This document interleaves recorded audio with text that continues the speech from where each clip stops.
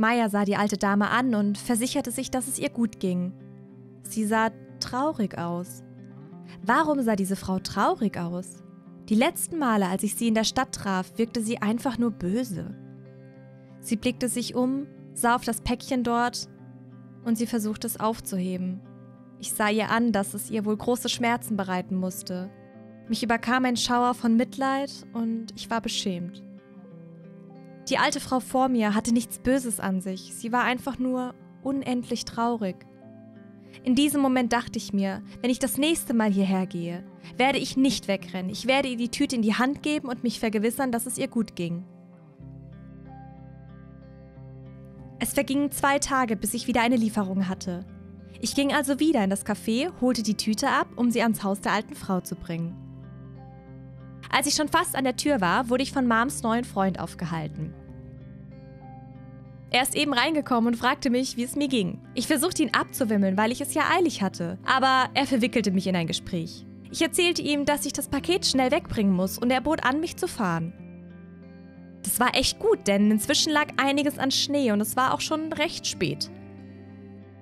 Kurz darauf saßen Sebastian und ich im Auto und fuhren den weiten Weg zum Rand der Stadt. Er meinte, dass er wartet, bis ich die Lieferung abgegeben habe, und ich war sehr erleichtert.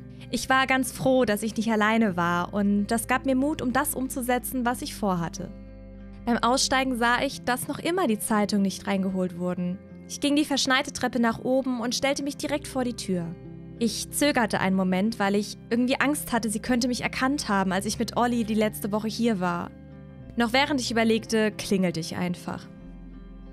Es dauerte und dauerte. Nichts passierte. Also gut, dachte ich mir. Dann nicht. Ich legte die Tüte ab, drehte mich um und ging die Treppe hinunter. Plötzlich öffnete sich hinter mir ganz zaghaft die Türe. Die alte Frau und ich blickten uns an. Als sie mich sah, sagte sie mir nicht Hallo, sondern schrie mich direkt an und sagte, ich solle verschwinden. Ich versuchte mich zu erklären und ihr zu sagen, dass ich ihr das Essen gebracht habe von meiner Mom. Sie sagte nur, sie habe nicht darum gebeten und dass ich verschwinden solle. Also rannte ich wieder zurück zum Auto. Als Sebastian losfuhr, fragte er, was da eben passiert war. Ich, ich war so aufgelöst und ich erzählte ihm alles. Ich musste es jemandem erzählen. Ich erzählte ihm von meinem heimlichen Freund, beziehungsweise Ex-Freund. Und davon, was wir gemacht haben. Ich sprach auch davon, was ich gesehen hatte und darüber, wie die Frau mir gegenüber gerade reagiert hat. Er hörte mir gespannt zu und verurteilte mich nicht. Ich fühlte mich in seiner Gegenwart wohl und zum ersten Mal, seit mein Vater uns verlassen hatte, fühlte ich mich richtig verstanden. Er könnte es sein, der mein Weihnachten ein bisschen besser macht. Ein Vater, der nicht nur einmal im Monat fragte, wie es mir ging. Er fragte mich, ob ich die Geschichte der Frau kennen würde. Als ich ihm sagte, dass ich nichts weiß, fing er an zu erzählen.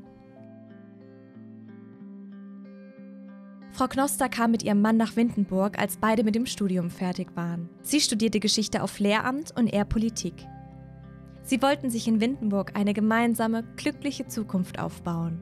Frau Knoster war immer so nett zu den Kindern in der Stadt und alle gingen gerne zu ihr, um ihre tollen Geschichten zu hören. Sie backte auch die besten Kekse in der ganzen Stadt. Und an Weihnachten war das Haus der beiden so toll beleuchtet, dass man die Lichter bis in die Stadt reinsehen konnte. Die beiden versuchten jahrelang ein Kind zu bekommen und gingen dafür sogar zu verschiedenen Ärzten. Irgendwie wollte es nicht klappen und beide wurden älter und älter. Sie mussten circa so um die 40 gewesen sein, da wurde Herr Knoster plötzlich sehr krank. Sie kümmerte sich jahrelang sehr liebevoll um ihren Mann.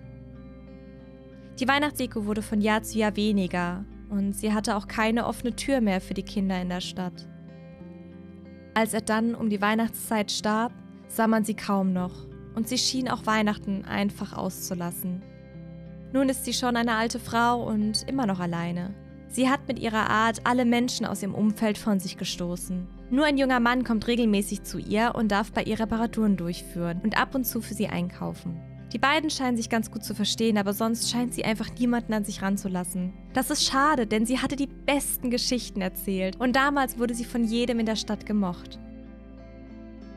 Wie traurig, dachte ich mir, als er fertig war zu erzählen. Ich fragte ihn, wie der Junge hieß, der sie ab und zu besuchte, und ich war überrascht, als ich den Namen hörte. Es war Noah. Noah. Wir hatten nicht mehr viel miteinander zu tun, aber er war immer nett zu mir. Er half mir damals bei Mathe, da er eine Klasse über mir war, damit ich meinen Kurs bestand. Seit einem Jahr ist er mit der Schule fertig und seitdem habe ich ihn auch nicht mehr gesprochen. Als ich zu Hause im Bett lag, überlegte ich, was ich machen konnte. Ich musste etwas tun. Ich wollte ihre Situation besser machen. In diesem Punkt kam ich wohl ganz nach meiner Mom. Diese Frau soll keine Weihnachten mehr alleine verbringen, dachte ich mir. Und dann kam mir die Idee. Ich sprang auf, holte meinen Block vor und begann zu schreiben.